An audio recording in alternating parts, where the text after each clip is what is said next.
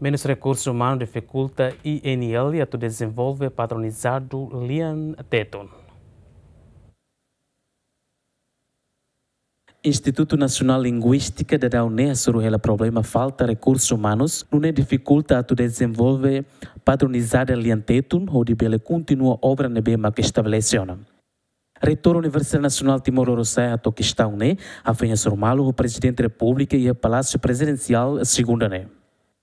E é nela, é nessa instituto, é o Entel, Lara, mas é é estatuto especial porque nem estabelecimento o decreto governo mas decreto lei uh, mas no entanto funciona dentro da Entel uh, a me reconhece que precisamos apoio recursos humanos e a formação contínua para jovens e para assumir sai ele continua obra na bem maca professor Dr. Benjamin onde colega Sir Haloten atlavel para salai e também é esforço a desenvolver língua tão padronizado sem ele tem dificuldade Tir João Soares, mas que governo aloca orçamento geral do Estado o valor que para o NTL, mas bem superior e a universidade refere-se esforço a tuzer instituição ne Rodiac.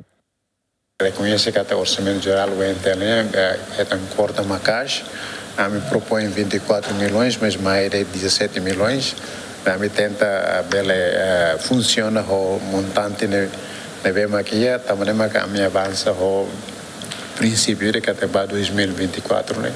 E tem que que se cabo, e tem que halo dieta. Quer dizer, caso ser mesmo lá necessário, e lá precisa halo, se tu pode ser vaca de guentel, ulu quando vai na serva, me tem que só água, halo café fosse, mas é para 2024 a serva a mim lá for nem botar vai ser porque o orçamento lá a mim tem que destinar para atividades mais importantes para estudantes serem.